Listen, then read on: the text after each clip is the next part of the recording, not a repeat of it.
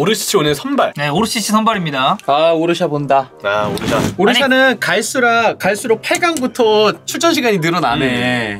미루테로 그랬는데. 아. 오! 야, 프로 자책골 넣을 뻔했어! 아 역대 기록에 남을 자책골 될 뻔했다. 걔 역대급 자책골 나올 네. 뻔했다. 삑살이 나가지고. 야, 씨! 와, 와, 야, 이거 전화! 야 이거 뭐? 와. 와, 야, 어. 자책골 넣을 뻔했어! 와! 와! 그마르, 그마르디올입니다. 그마르디올! 와! 와, 미쳤다! 0대 0 예상한 거 6분 30초 만에 끝. 와 진짜 멋있는 골이다. 야, 저거 네. 어떻게 막냐, 저걸? 공이 이렇게 돌아가. 네. 와. 자, 아! 와!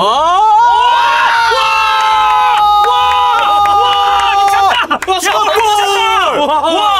대박이다. 1대1! 지금 다리가 뭘, 뭘, 머리로 골을 넣었죠? 와! 와. 야 재밌겠다 이거. 야, 미쳤다. 골 많이 나오겠는데? 들어와! 와! 와, 분우, 분우, 분우. 와! 씨. 아 근데 모드리치 진짜 와, 너무 잘한다. 너무 잘한다. 와 진짜. 아 드리블 좋아요. 간다! 와! 와. 마무리까지. 아 이거 골킥이네요. 야, 니네 라우즈 아닌 걸 감사해라. 저 너네 지금 너네 여섯 명다 경고야. 자, 너네 여섯 명 다 경고야. 아, 뭐야? 야, 주심이 엄청 잘. 봤네. 양심 개 없네, 무팔. 와, 와, 야, 진짜, 와, 진짜. 미쳤다. 엔네실이랑 지혜씨. 잘 잘랐어. 잘라 들어오면서. 와 아무도 못 아, 들어왔어. 저, 저 점프력이 되게 좋네요, 엔네실이가. 와, 오르샤 아니야? 오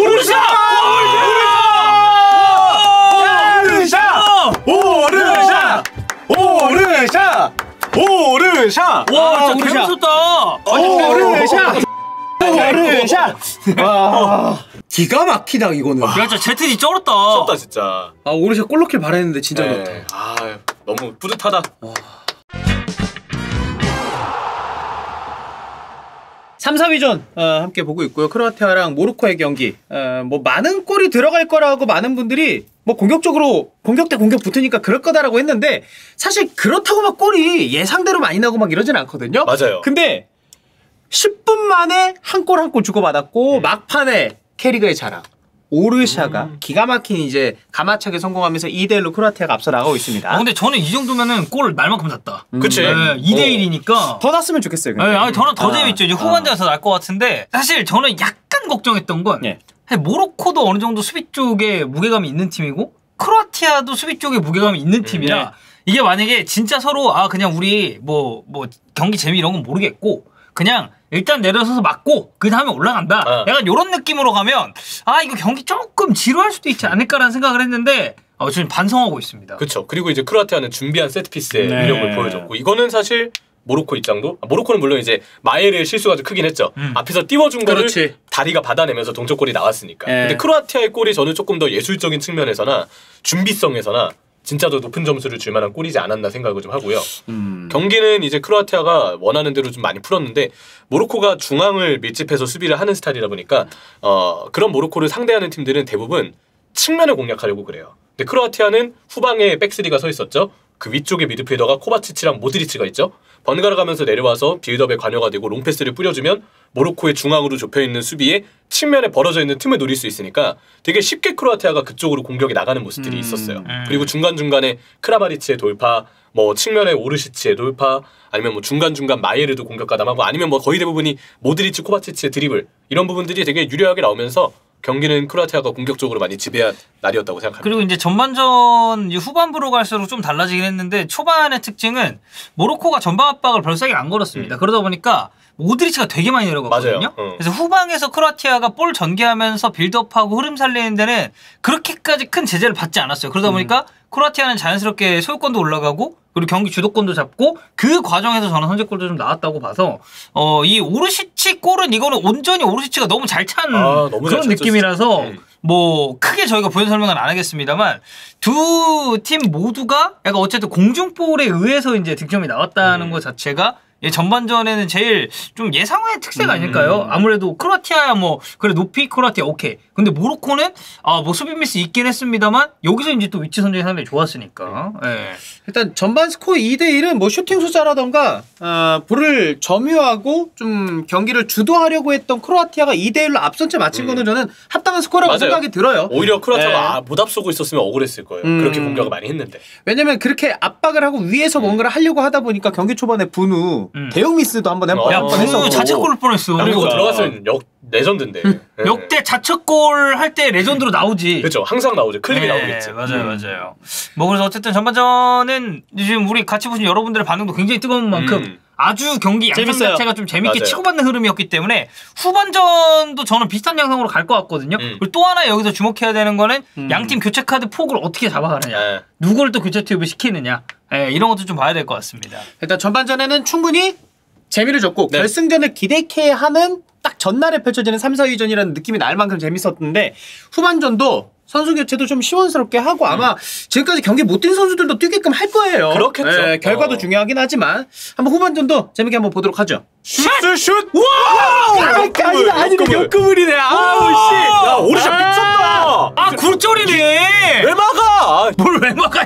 아, 아, 이거 그냥 본인이 약간 그랬나 보네. 뭐 따로. 아 뛰면서. 야 이거 일주일 뒤에 리그 다시 시작하는데. 아.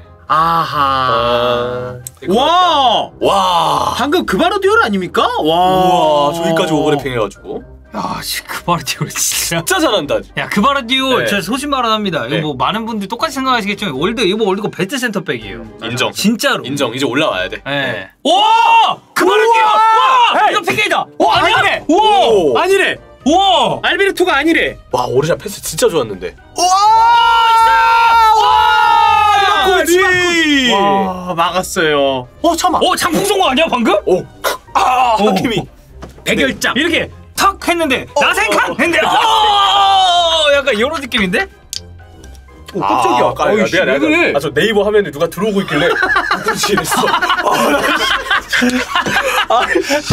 어 나는 얘가 갑자기 무슨 귀신 본 사람처럼 이래가지고. 아, 진짜 깜짝 놀랐다고. 아, 아 이게 네이버가 아. 조금 늦어요 영상이 예. 그러니까 나 들어오는 거 보고 이런 거잖아. 개웃기네 아, 그 장면. 야 모드리치 아, 진짜 아, 모드리치. 진짜. 진짜 아크 정면까지 가려고 그랬어, 압박으로.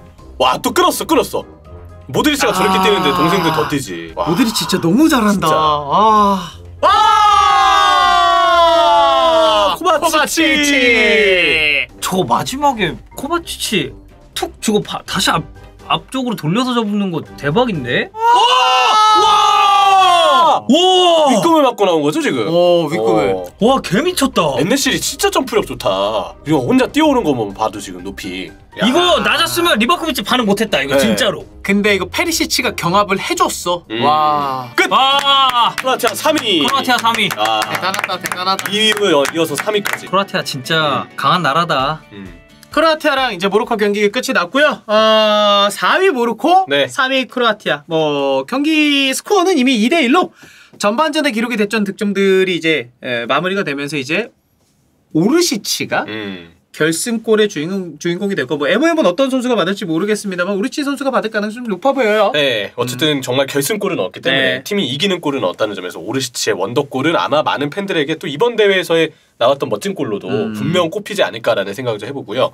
어, 경기는 이제 아무래도 크로아티아가 앞서고 있는 채로 후반전을 시작을 했기 때문에 전반보다는 무리해서 압박을 하지 않고 물러서는 선택을 좀 했어요. 물러서서 어, 모로코에게 볼 소유권을 넘겨주더라도 음. 모로코의 중앙만 틀어막으면 우리는 상대의 크로스를 그바르디올을 통해 막을 수 있을 거예요. 맞아. 약간 이런 마인드가 있었던 것 같고 네. 그 가운데에서도 모드리치의 수비와 어, 페리시치의 수비와 코바치치의 수비와 또 오르시치의 그 역습에서의 음. 이번에 또 영리한 판단들이 후반전에 꽤 많이 나와서 음. 여러모로 이렇게 재밌었던 어, 크로아티아의 후반이 아니었나 생각합니다. 아, 생각해보니까 그바르디올도 선취골 기록했고 오늘 너무 잘해가지고 그바르디올이 아, 받을 수도 그럴 있겠다. 수도 있죠. 네, 누가 받을지 네. 모르겠는데 이상하지 않아요. 그건 확실하죠. 우리가 뭐죠? 이제 그 메시의 호위무사가 이제 훈련이다. 음. 얘기했듯이 모드리치의 호위무사는 이제 오르시치였다. 오르시치다. 예, 아. 지금 와서 보면. 우리 오르샤. 예. 음. 근데 뭐 어쨌든 임팩트는 너무 좋았고 크로아티아는 이번 대회를 통해서 이제 월드컵이든 유로가 됐든 아니면은 뭐 이제 네이션스 리그는 사실 이번 월드컵을 통해서 그렇게 큰 의미를 둘 아유. 필요는 없다라는 생, 그런 게 증명이 됐지만. 네.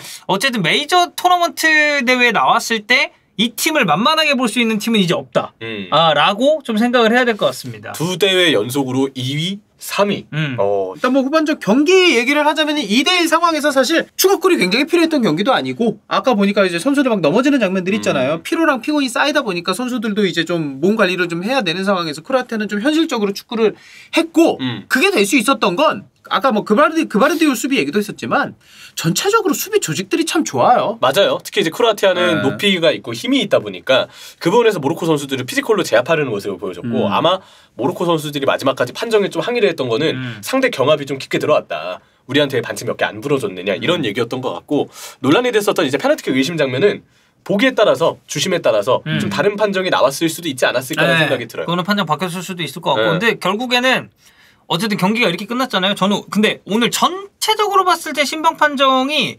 논란이 많았네요. 저는 그렇게 보진 않거든요. 어, 그냥 기준이 그랬다. 네. 근데 이제 그런 느낌이죠. 어쨌든 이 주심의 성향을 파악하는 것도 굉장히 중요한데 크로아티아는 그 성향을 조금 더 활용을 잘한 거고 음. 모로코는 이제 그 부분에 있어서 불만이 좀 있었던 약간 말린 거고. 것 같아요. 예, 어. 약간 이제 그 차이가 아닌가 싶습니다. 뭐 어쨌든 모로코는 이번 대회 최고의 이변의 팀으로 맞아요. 예, 이제 자리를 잡게 됐고 다음 월드컵이 더 기다려지는 팀이 되지 않았나 싶기도 합니다. 맞아요. 네. 근데 이제 아프리카도 잘 보면 지역 예선이 되게 치열하거든요. 모로코가 이렇게 좋은 활약을 하긴 했지만 이번 월드컵에 못 나온 아프리카 국가들 중에 코트디부아르 음. 공격진이 진짜 훌륭하고요. 물론 이제 세대가 이제 거의 끝물이긴 해요. 음. 나이를 봤을 때 나이지리아 그 월드컵에 항상 나오던 나이지리아가 이번에. 못 나왔잖아요. 네. 그리고 이집트 슈퍼 이글스. 네, 살라가 있는 이집트도 못 나왔어요. 이트 이제 세네갈한테 밀려가지고 또 못 네. 나와가지고. 그러니까 이런 팀들의 경쟁을 보면은 여러모로 아프리카도 참 대륙간 내, 내에서의 경쟁이 좀 치열해서 모로코도 이번에 좋은 돌풍을 일으키긴 했지만 예선에서 또 한 번 아프리카 팀들의 무한 경쟁에 돌입을 해야 된다. 그런 부분에서도 되게 기대되는 포인트가 있는 것 같고 하킴 지에씨의 이변의 활약. 지혜가 아닌 지혜 씨였다. 음. 과연 다시 지혜로 돌아올 것인가?